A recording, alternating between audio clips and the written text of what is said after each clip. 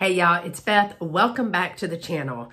Y'all, I look a hot fright mess. I've been working in the shop. I don't even have any chapstick on, but I just couldn't wait. I need to show you this estate sale haul. Now, in my last video, I took you shopping along with me at an estate sale in beautiful Needville, Texas.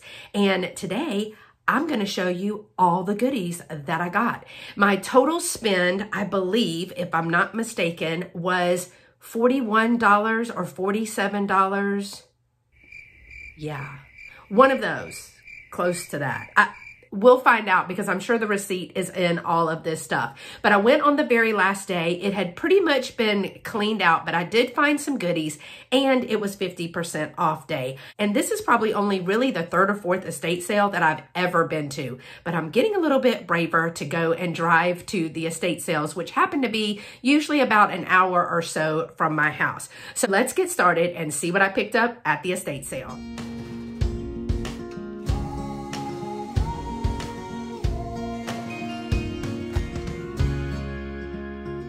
Y'all, two of the bigger items, well, I think they're big items um, that I got are kind of the same thing. You saw me looking at this dresser caddy. For men, you put maybe your wallet, you could put your phone nowadays here, change, rings, and everything like that. I love the handles on there, and it has a nice big drawer that is sectioned out here.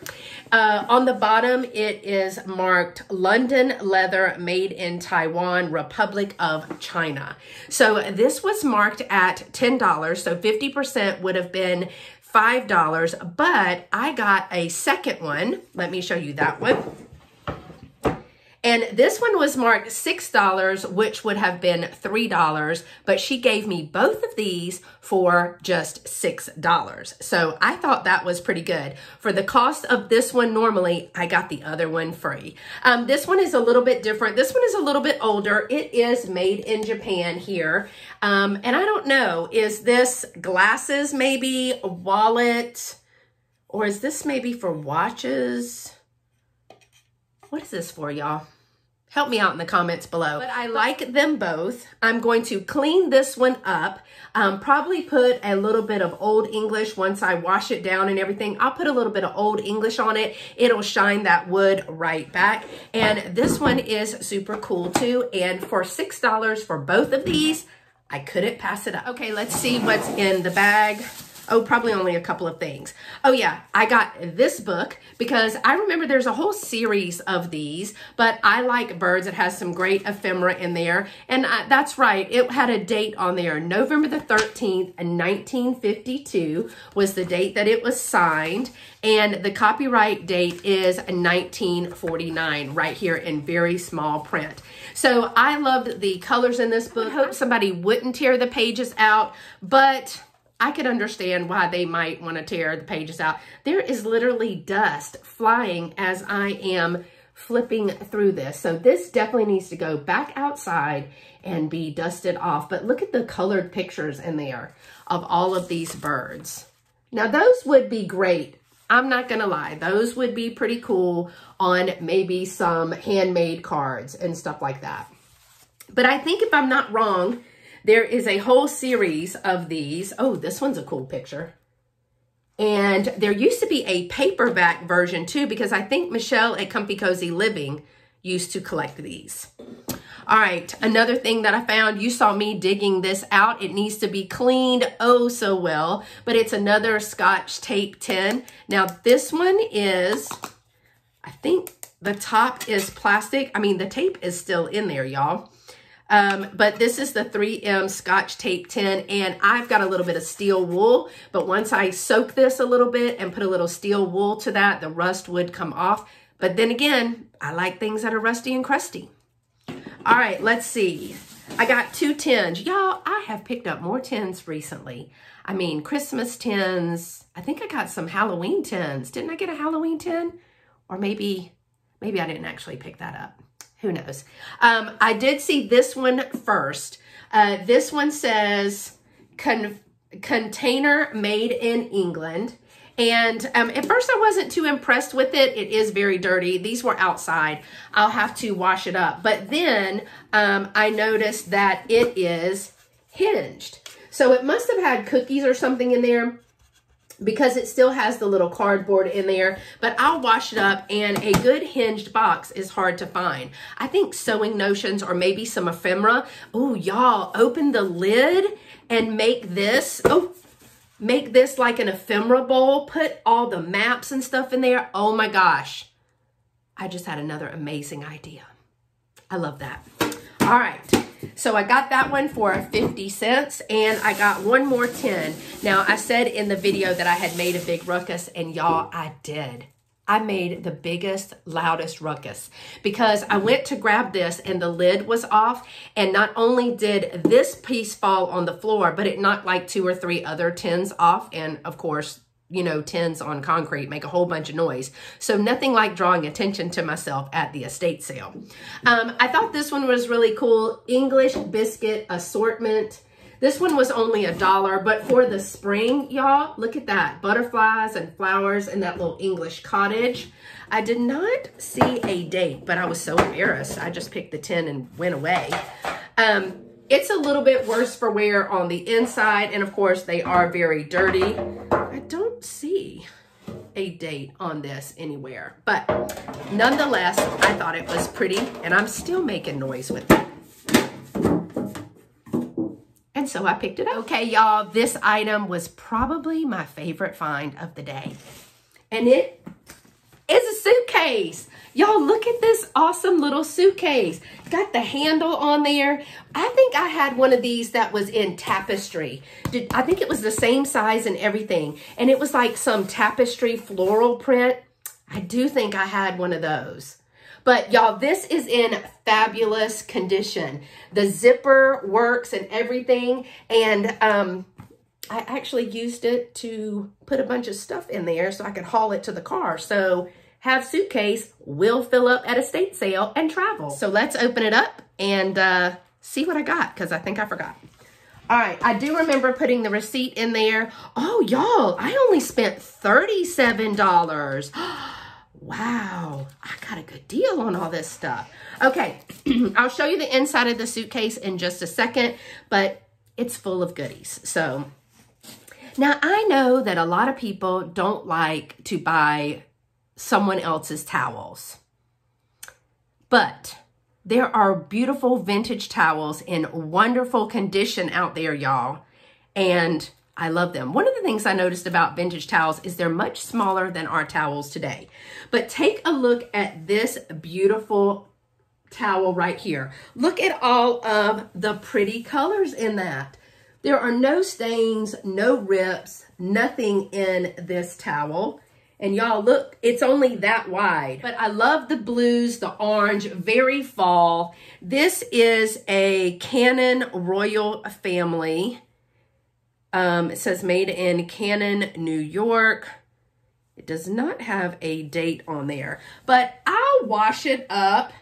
No stains whatsoever on there.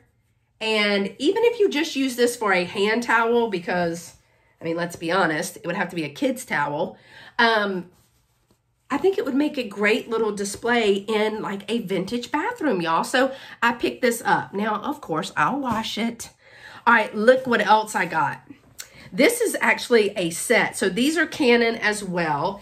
But look, this is like, look how little this dab burn towel is. Y'all, that's a little towel. That's maybe what? A yard and a half? I think that's a yard and a half but it is like pink and white. It is textured, very good condition, but I didn't just find the towel, I found the matching washcloth that is also in wonderful condition. So I now have a set of a towel and washcloth that go together. Now I can't remember, she gave me all of the towels, and this isn't all of them, for 650 I can't remember how much they were, but I think they were two or three dollars each. So she was bundling to make some deals because it was the last day. And I appreciate her for that. All right, let's see what else I got in here. Oh, this was a cool towel. This one is a, oh, I got it backwards, a U.S. Marine Corps towel. Now, one of the gentlemen that was there said that this was probably or could have been a military issued towel Um, it's the little, kind of like the small hotel towels that you used to get, but it may have been a military issued towel. But at the end of the day, they served our country, which I appreciate. Thank you. And um, they can have a towel. I got some more towels too. I just got to find those. And because I remember specifically getting, oh, I got this, y'all. Look, I think I showed this. Look, someone in a live chat asked about a if we had any terry cloth, terry cloth um, aprons. And what do you know? I happened to find one. And I'm going to wash it up and I'm going to press this piece out. Oh my gosh, y'all, it's going to be so pretty. But for the spring and summer, that would be so cute just displayed in your kitchen. So I got that. I think she, uh, she, the apron was 250. Here's some more towels in this bag. Oh, I got some ephemera. So I got some hand towels that have like goose, ducks, swans, feathered fowl. I'm not sure. But it's like a little patchwork. Now there's this one. It's like on a white cheesecloth. Um, I guess you call this cheesecloth. It might be linen. I didn't see a tag on it. But I got this red rooster. This made me think of Dee from Thrill of the Thrift. I got this red rooster towel. And I also got, there was four of them. These are some white chickens. Now this one has a little bit of spot right here. So y'all think if I soak this in OxiClean first, that that will take that out? Because I did just get me a new thing of OxiClean. I think I need to soak them first. But they're stitched on there. I don't know if it's hand stitched or machine stitched. Um, I don't know, y'all. Look at, okay, let me show you this one. So there was this chicken one. Here's the stitching, right? And then here's the stitching on the back. So do you think those are machine or hand stitched? I have no idea. You can actually see through here, you can see the stitching piece. So I thought these were pretty cool. Of course, I will wash them. And yes, Miss Martha from Vintage Conversation, I will iron them. And I'll put them in a little lot with a little red tulle or something around them. That'll be sweet. And then I found another dresser scarf that is, I guess this is embroidered. I think that's what we've decided. But look at this little sweet girl. Look at the embroidery on that. Love all of the flowers in her basket. It is on both sides as they typically are. It is in pretty good condition. I don't see but a few pieces of staining on there. And I can't tell if that is, oh, that's not stain, that's yarn. Hmm. I'll have to, oh, I love this lace on the bottom. You see this crocheted? I just love that. So I haven't decided if I'm going to put this in a live sale or if I'm going to keep it for myself. But y'all, as you know, anytime you can shop my haul. And that means that if you're watching this video and you see something that you're interested in, send me an email here at scprincess1 at comcast.net and I can let you know if the item is available or if it will be available soon in an upcoming live or drop sale while we're talking about drop sales, um, make sure that you're hitting that notification bell to all because drop sales are pre-recorded video sales. Um, and if those post on my channel, you'll be the first to know. And it is a way for you to claim items without having to attend a live sale. Also, drop sales are a way for you to be able to not watch on the day that it posts, but still be able to watch throughout usually about two or three days and claim items that have not already been claimed in the comments of the video. So they're pretty cool. All right, let me show you what else I got. Um, oh, the doilies. Y'all know how I feel about doilies. I love doilies. Um, look at these though. I don't even know what kind of stitch this is. So my crochet, knit, stitch kind of people, tell me what kind of stitch that is. Do we call this crocheted? And I also know there's tatting something called tatting, but look how beautiful that is. And it's big. Love the greens in that. Oh, I need to save one of these for St. Patrick's Day or Christmas. Wouldn't this be beautiful with one of those ceramic Christmas trees in the middle? Now, I don't have one of those, but I certainly can put it on my bolo list, y'all. But the good thing about that is I didn't get one green, I got two. So I'm able to give one up for a live sale and keep one for myself. And these things are pretty big. All right, and then this one, ooh, this one's gonna be tough to give up, y'all. Look at the color in this. Isn't that absolutely gorgeous? Oh, with a vase full, a clear glass vase, y'all. Hashtag bring back the clear glass in 2022. Y'all, one of the beautiful clear glass vases with some yellow flowers in that, sitting on top of this, that would be so darling. Oh, I'm loving it already. All right, I got some other, I think these are crocheted, but my dad said my grandma used to call it tatting and I don't know the difference between one or the other. Um, this one is so cute. It's got like a little baby pink around the edge right there, but this one is a pretty good size. And look at that intricate work. I don't know how people did that, and I don't know how people knit either. I don't have the patience for that. All right, and this one, and y'all know that doilies sell very well for me, um, especially at my shows. I actually usually sell out each show, but look at that design. These are pretty good. Now I am gonna try soaking this in OxiClean. I don't know if, now see when I hold it up this way, it looks like, maybe that's shadowing. Because when I look at it closely, I do not see any stains whatsoever on this. But all of that is getting washed. Also some things that are getting washed. Now I know people don't like to pick up vintage bed linens or vintage bed jackets or anything, but y'all, I'm not going to story to you. I've done very well with vintage pajamas. And I found three pieces of what they would call lingerie. We called it a nightgown. Now, now this is a fancy nightgown because I've had flannel nightgowns and long t-shirt nightgowns. You know, it's almost like you'd call this a hospital gown. You know, you had to get your good pajamas if you ever had to go in the hospital. Everybody's got that one pair of good pajamas. So this is got beautiful lace right here. The only thing is I have yet to find, now this one is long. Oh wait, there is a tag. Yay. Oh, vanity. Nope, not vanity. I need my glasses for this. Goodness. Van Raalte, y'all. What does that say right there? It says it's a medium. So this one is long. It is all the way, I would say this one would come about mid calf for me. So this is a medium, beautiful little pink or peach color. So I'll get that washed up. Also, what I picked up is another one that is this turquoise blue color. This one is shorter. So this one is probably right at the thigh, but I love the design in this. Let me see if this one had a tag on the bottom like the other one. I was looking on the inside, like it right at the bust line.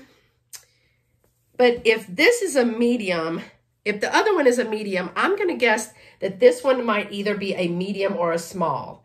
I think I can measure, y'all tell me if I'm wrong. I can measure from here to here, and I think that will tell me the, um, help me determine the size. But that one does not have a tag on it. All right, there's one more of those, and this one is pink. I don't think they'll fit me, but they sure are pretty. But I love this one, the, the little sleeves. This looks so cool for the summer, and it's got the little eyelet pieces right here. Oh, with the roses. So cute. Oh, this one has a tag. Texsheen lingerie. Oh, lingerie. Texsheen lingerie, size medium. So I'm going to guess that the other one is a medium too. And this one is a shorter one too. But y'all, that is too cute. Look at the little detail on the bottom. And if you wash it, it's fine. All right, just a few more pieces. The ephemera, y'all. First of all, look at this. Is that not beautiful? The red, the white, the blue, U.S. Post Office. Now, any reseller will tell you we have a relationship with the USPS. Our postmen, our UPS drivers. I give gifts to my UPS people and my USPS people because they pick up at my house for me. This did not have a date on it, and I have looked and looked and looked, but it has all of the zip codes in there. It's just a book of zip codes. I like it for the graphics. Um, and this is Mr. Zip, y'all. That's his name. And fun fact, Lovey's mom has actually worked for the United States Post Office for over 50 years. So congratulations to her. And she's still working there, y'all.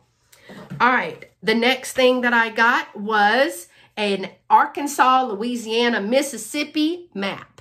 Now, I love the graphics on this. Remember traveling when you used a map? I really can't read a map very well. Thank God for Siri. And then look on the back. This is about the traveling with your humble credit card. I love that. Let's see. I looked and I did not see a date, but I really didn't look really hard but I love the graphics. Now, I said in the video that I have used uh, maps before to cover tables or furniture that are just beyond repair. If the top is beyond repair, if you can't, if it's too much putty work and you really can't um, fix it, then you can always put a map over it um, throw a few black and white pictures in there, shellac that on the top, and that would be super cute. Now, again, I was looking for the date. Well, it has a zip code and an area code. So that helps date it a little bit. I think it has to be after 1973 or something. Oh, 1972. it's right here, Beth. Jeez, vanilla Cuddy. Hold on, let me show you. It says it right here. 1972. So maybe it's after 1970. Oh gosh, I'll have to, uh, we'll have to fix that later. All right, the next, I got two more maps. One is, I picked this up because of this car right here. Now, this one is pretty dirty, but I thought if somebody wanted to save the pictures in this, um, that would be good to cut up for ephemera or journaling. this must be a city map, y'all, because look, it looks different than a countryside map. All right, let's see if I can find the date on this one. No, they just put it all in the same place. This one says copyright night. What does that say? 1966. 1966 is what this one says. And this is the back of that one. And then there's Alabama. Had to get me an Alabama one because made me think of Miss Pamela Blanchard. Sweet old Miss Pamela Blanchard.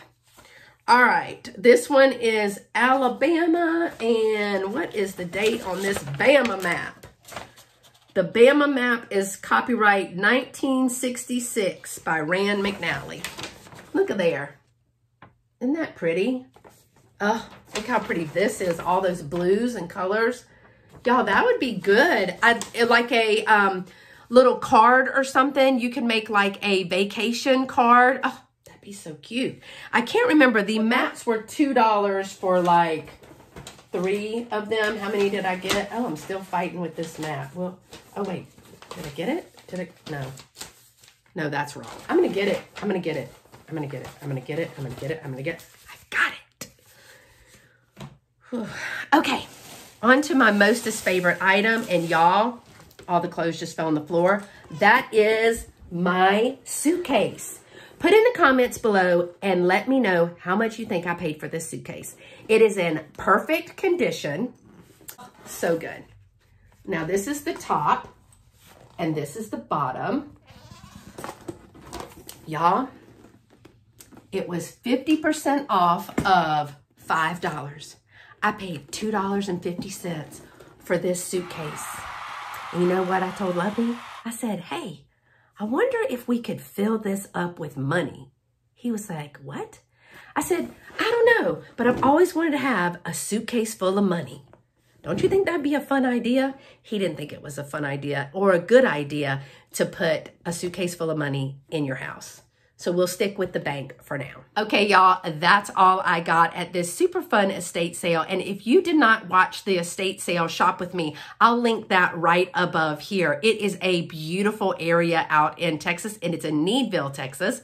And shop along with me, look and see what I was seeing. Let me know if there was anything that I left behind. From this video, leave me a comment below to let me know what your favorite item is. I told you my favorite item was the suitcase because I think that would be fun to just fill up. If I could just get empty suitcases and fill them up with everything that I thrifted, that's a good idea, y'all. All right, y'all. So thanks so much for watching again. Don't get to give this video a thumbs up on your way out. Let me know that you like it. And if you're not subscribed, please consider doing so. I'd love to have you be part of my YouTube family. And I want to say a big thank you to all of those who have been my subscribers from the beginning and a welcome to all of my new subscribers. So until next time, y'all stay pretty and be sweet. Bye-bye.